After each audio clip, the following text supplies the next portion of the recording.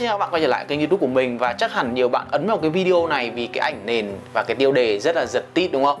Đây là chai nước hoa Dior Sauvage, một chai nước hoa đã rất nổi tiếng cho nam giới Và gần như rằng đây là chai nước hoa bán rất chạy ở thị trường Việt Nam cũng như ở thế giới Nhưng mà ngày hôm nay mình sẽ giới thiệu với các bạn một mùi hương mà có thể nói rằng là nếu như bạn nào thích những cái mùi hương của Dior Sauvage các phiên bản EDT, EDP thì khi các bạn ngửi cái mùi hương của chai nước hoa này thì mình chắc chắn rằng các bạn cũng sẽ rất thích và với những cái mũi của mình và với những cái cảm nhận của mình cái đánh giá của mình sau đây thì mình chắc chắn rằng là mùi hương này có thể thay thế được hoàn toàn thậm chí rất tốt chai nước hoa Dior Sauvage này.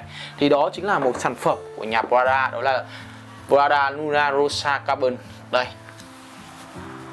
À, zoom vào đi bạn ơi. Đó. Và hãy cùng xem lý do vì sao mình nói như vậy nhá.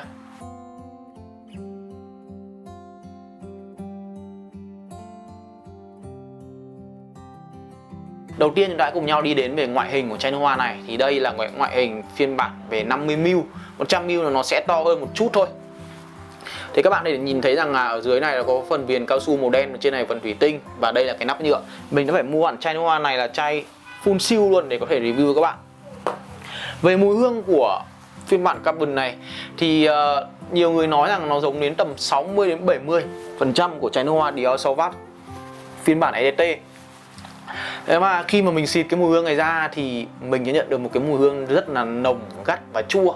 Nó nhờ cái vị của chanh và tiêu rất là rõ ràng. Và nếu như các bạn xịt một phát mà các bạn theo thói quen bạn ngửi ngay thì các bạn sẽ rất là sốc, rất là choáng bởi mùi hương này. Nhưng mà nó cũng chỉ bằng 1 phần 5, 1 phần 10 so với Dior Sauvage ngay khi các bạn xịt thôi. Nên là nếu như các bạn ngửi quen Dior Sauvage rồi các bạn thấy mùi hương này nó khá là nhẹ. Và khi khoảng tầm 5 phút sau khi cái mùi cồn nó biến mất thì các bạn sẽ nhận thấy một chút ngọt nhẹ của oải hương hay gọi là lavender, một cái mùi hương rất là quen thuộc. Và sau đó khoảng tầm một thời gian nữa, khoảng tầm 15 hay 20 phút thì cái vị chua ở chanh nó sẽ dịu xuống. Và cái mùi các bạn nhận được rõ nhất đó là cái mùi cay của tiêu cùng một chút oải hương ở phía sau. Và dần dần thì amboxen hay gọi long liên hương nhân tạo xuất hiện.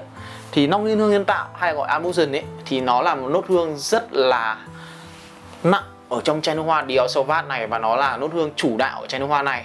Nhưng mà các bạn sẽ nhận thấy khác biệt ở trong chai nước hoa này, tại vì cái nốt hương Amoxion đây thì nó có phần khá là nhẹ và nó chỉ là làm nền cho cái mùi hương của tiêu và oải hương thôi.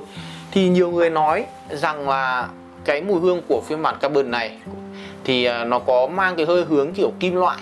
Nhưng mà thực chất thì theo như mình biết thì cái nốt hương kim loại được ờ, làm nên bởi cái vị the và cái vị sắc của tiêu cùng với một chút nước và lavender thì cái nốt hương kim loại đây nó làm cho cái hơi hướng làm lavender nó có phần hơi là lạnh.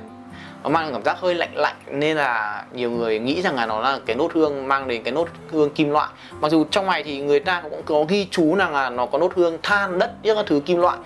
Thì ờ, đấy là cái cảm nhận cá nhân của mình và về sau dry down thì chai nước hoa này nó nghiêng về cái nốt hương lavender hay gọi là oải hương nhiều hơn. Và cái nốt hương Amazon nó chỉ là làm nền thôi. Nó vẫn giữ được nét tiêu cay.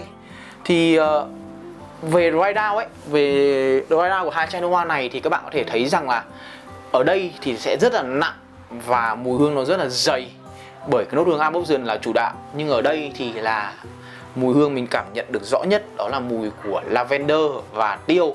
Còn Amoxon nó chỉ làm nền thôi nên là cái mùi hương này nó sẽ rất là nhẹ nhàng nó rất là uh, nó vẫn mang một cái DNA rất đặc trưng của Dior Sauvage nhưng mà nó được làm thanh thoát hơn nhẹ nhàng hơn và mịn màng hơn rất là nhiều.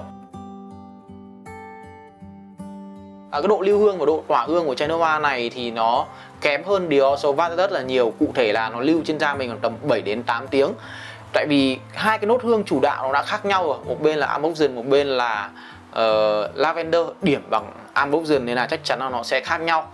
Điều sâu vát kia là nó lưu rất là tốt. Còn em này thì nó chỉ tầm 7 đến 8 tiếng thôi. Và cái độ tỏa hương thì nếu như các bạn xịt vào tay nhá thì các bạn sẽ nếu như các bạn xịt vào tay thì các bạn đưa lên nhảy thì các bạn sẽ thấy mùi của nó rất là nhẹ.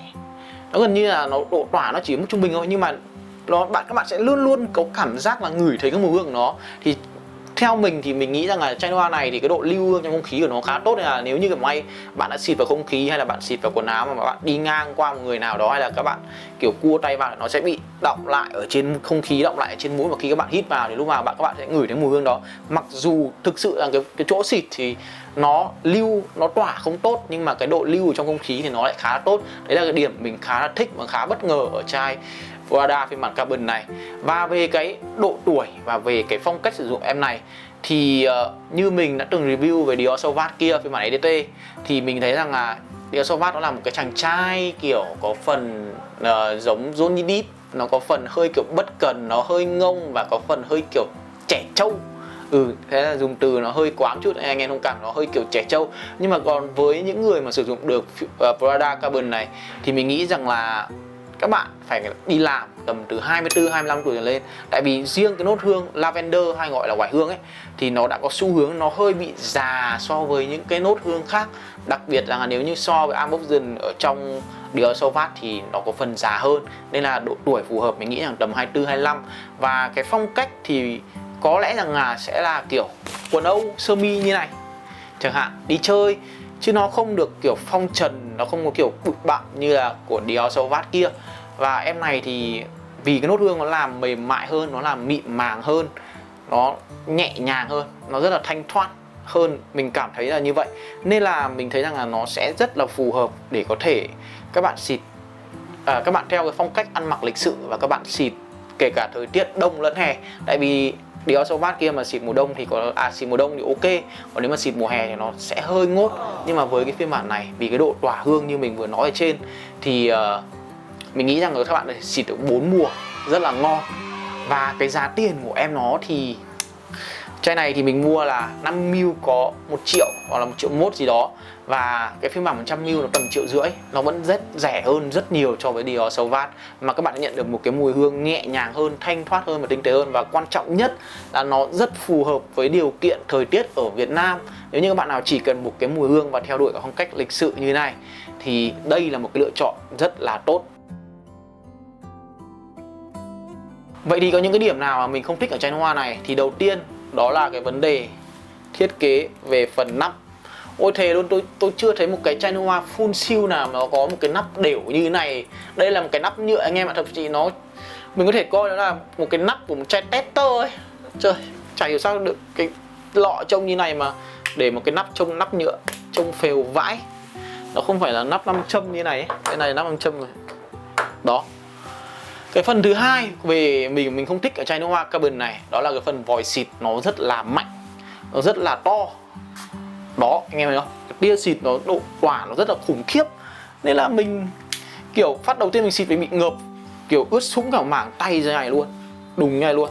Nên là anh em xịt thì anh em hãy để xa một chút nhá, đừng để gần những chai nước hoa khác, tại vì nó sẽ, kiểu, ướt sũng tay của bạn luôn. Cái điểm thứ ba mình không thích về chai nước hoa này, đó là cái việc tìm kiếm mua ở trên thị trường hơi khó đây là mình nói là mua theo cái nghĩa là mua ở thị trường online ở Việt Nam nhá.